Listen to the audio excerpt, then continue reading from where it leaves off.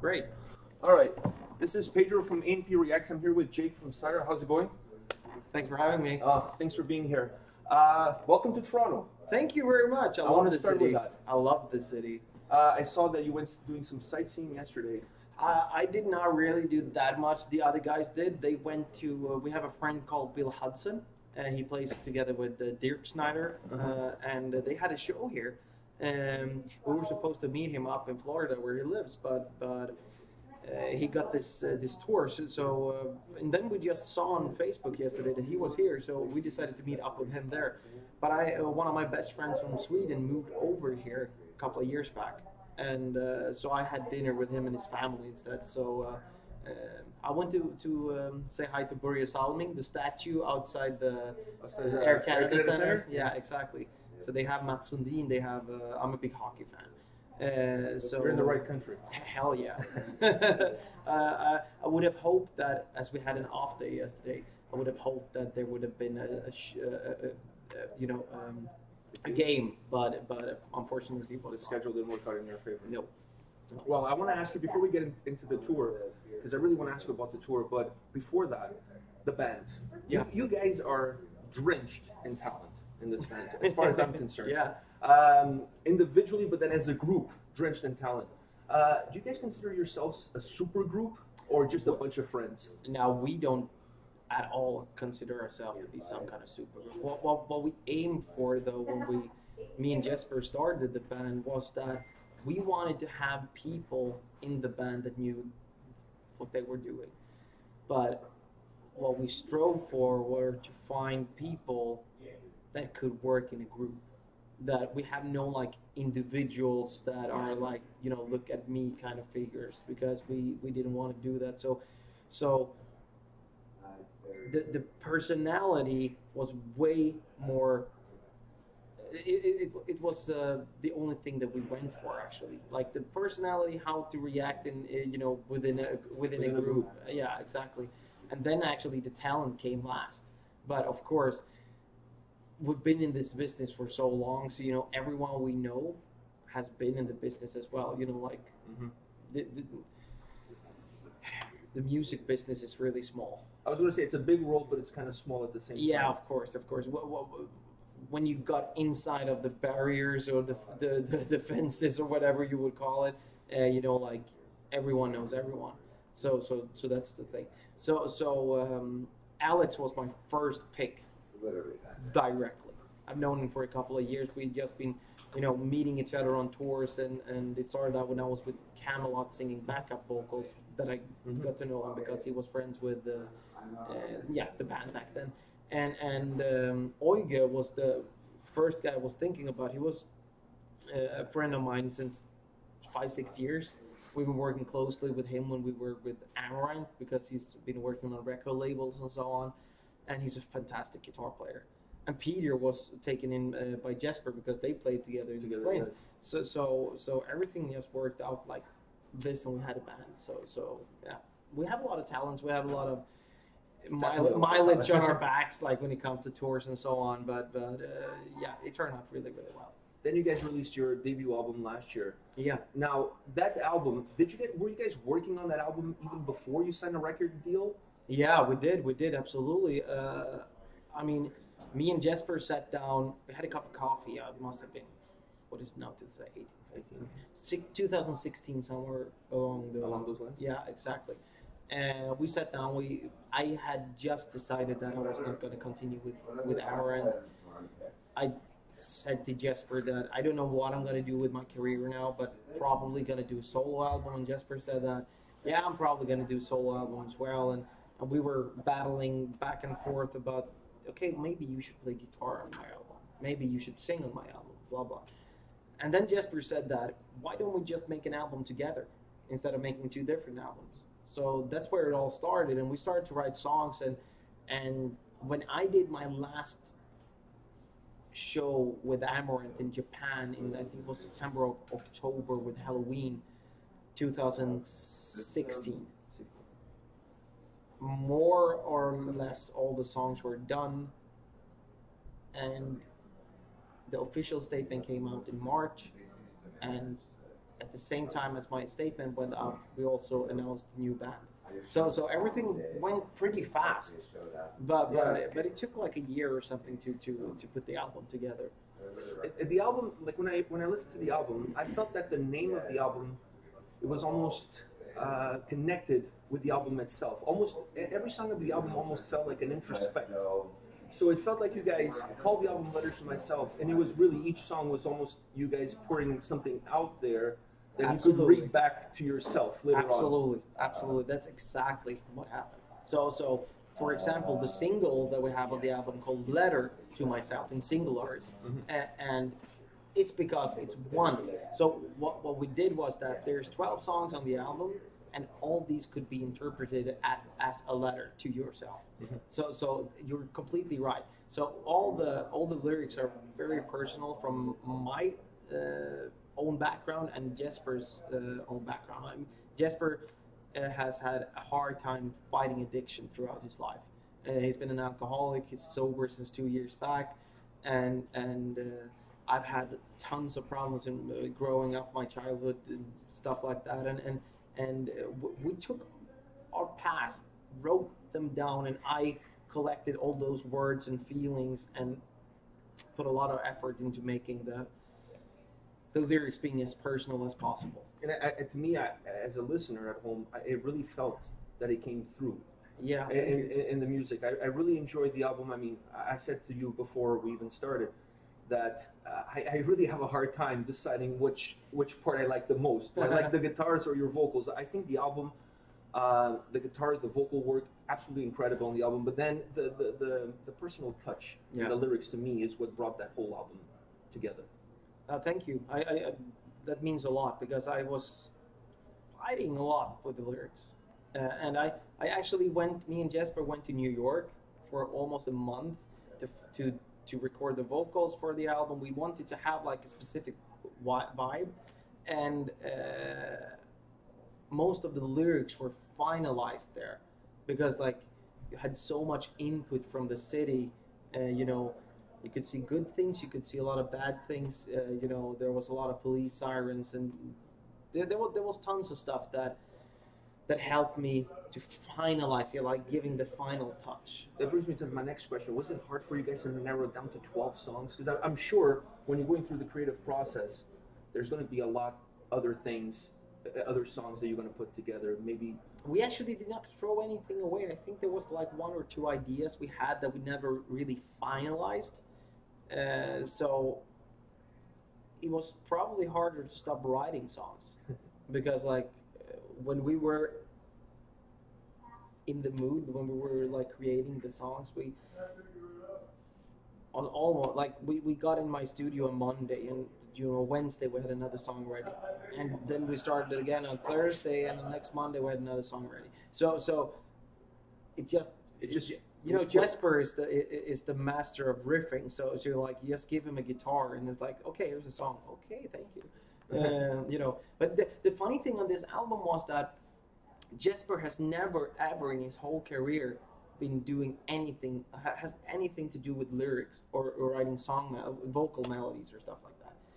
And for me, I have not really you know put that much effort in writing songs like for real like the riffing and stuff like that. But on this album it's 50-50 so there's a lot of the song where i wrote the riff and, and uh, he wrote the song uh, vocal melody and vice versa uh, so so That's very interesting because that, that was going to be my next question. Was like, how did you guys work out the dynamic between the two? yeah we, we sometimes it's easier for you alone to sit down and just write it because you know you just have to do some of the songs. I did, some of the songs I did.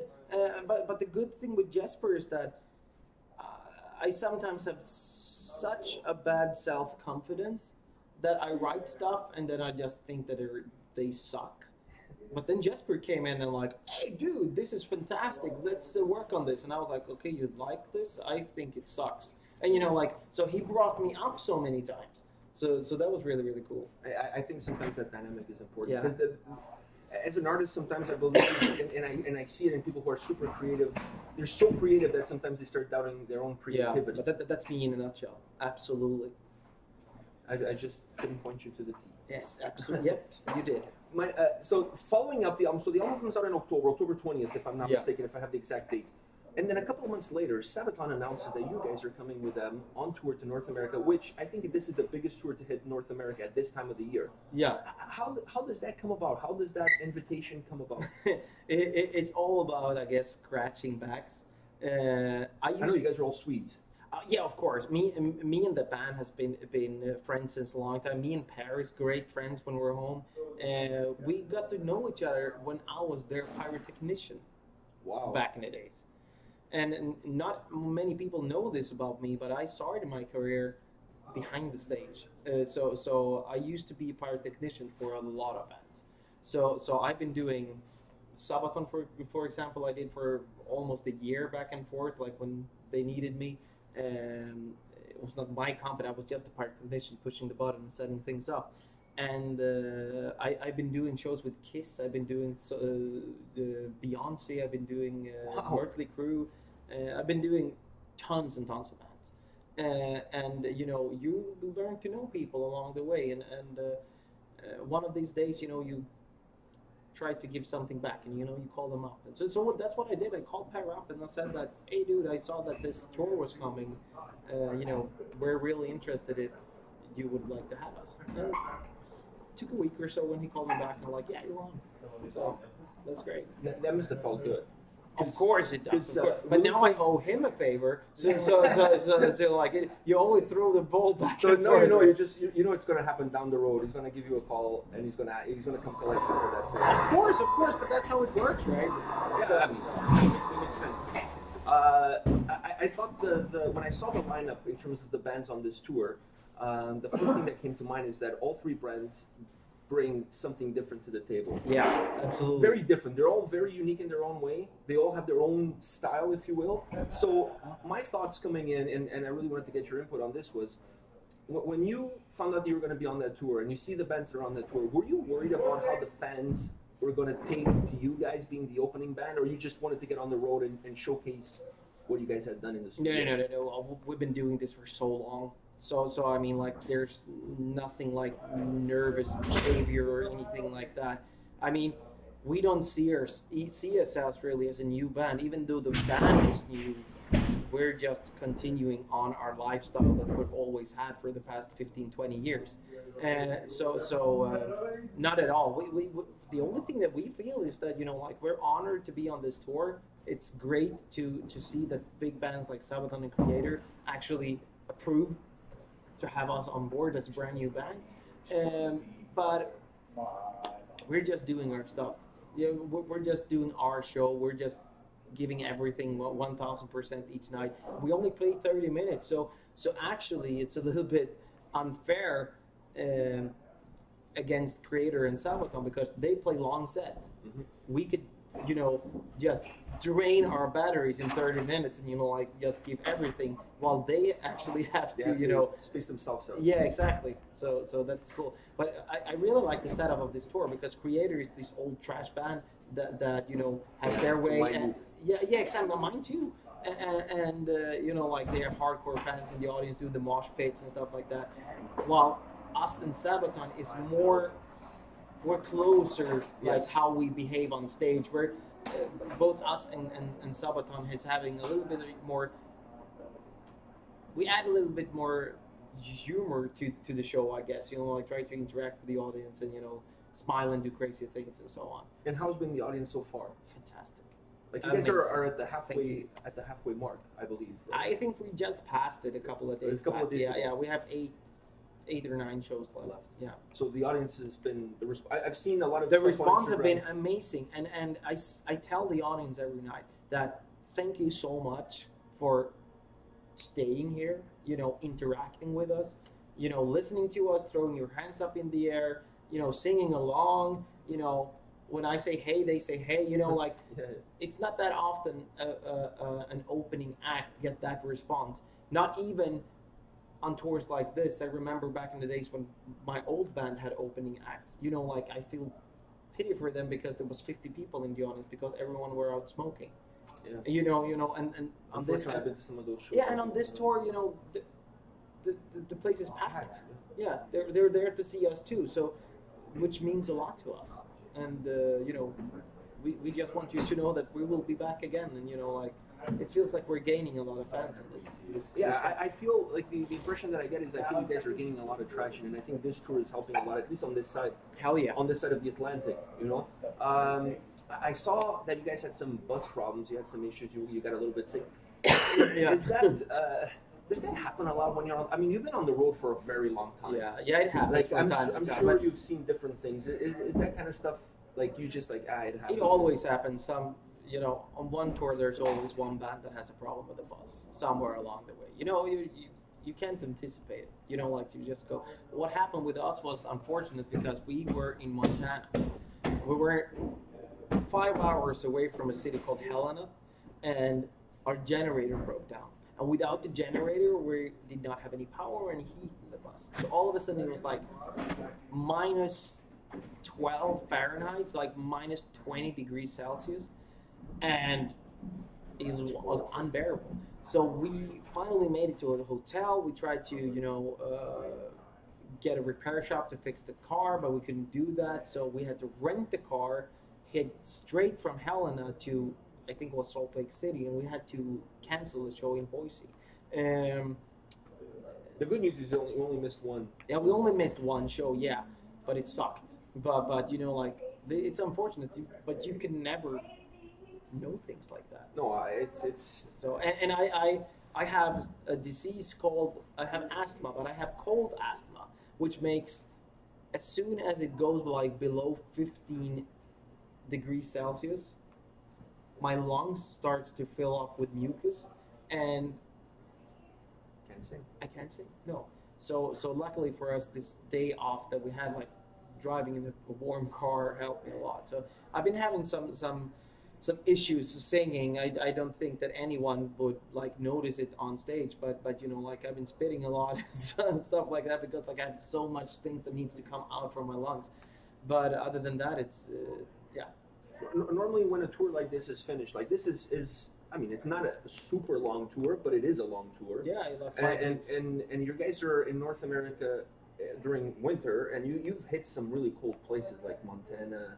You know, Colorado, that whole area there. Now coming to Canada, you're actually getting a little bit of a warm spell, but there's a snowstorm coming tonight. I by the way. heard, I heard. There's you guys brought the snow with you. Uh, so, if you need time after the tour to kind of um, recharge your batteries before you, you hop onto another one, Yeah, that's the, that's the- that's the thing. I never recharge my batteries. I'm pretty bad when it comes like that. I, I, I also do management like back home. I um, you know work with everything that is behind the stage. What happens when when we do the, our last show in Atlanta? The day after uh, Atlanta, we fly home. We're home for one day. Then we have a headline show in Gothenburg, uh, and we are free one day, and then we have another show in Sweden.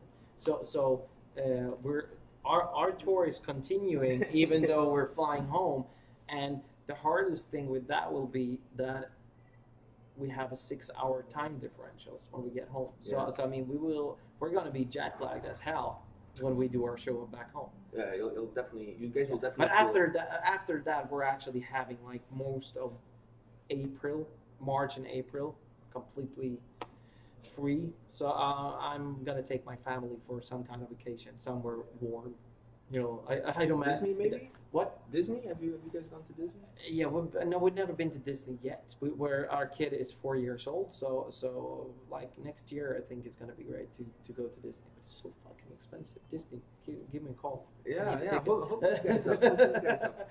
no, I Uh, love Disney though, but but uh, we we've never been there. But but uh, what I I need to recharge my batteries now after this tour for sure. So I'm like two weeks at a sunny place.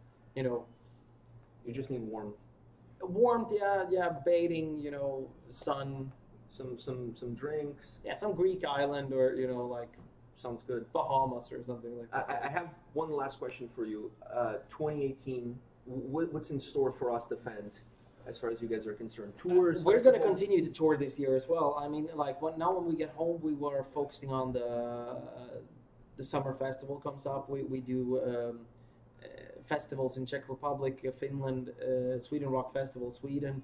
Um, there's some more festival coming up that are not announced yet, and then we're probably going to go on tour in the fall again. Uh, probably, hopefully, uh, another U.S. run, probably a, a European run, and you know we need to f- sit down and write a new album, and hopefully for 2019 there will be a new album out. So Wow. so yeah, so um, That's a lot of stuff. yeah, yeah, and I. Um, Now, now, that was going to be my last question, but now you piqued my interest with the new album.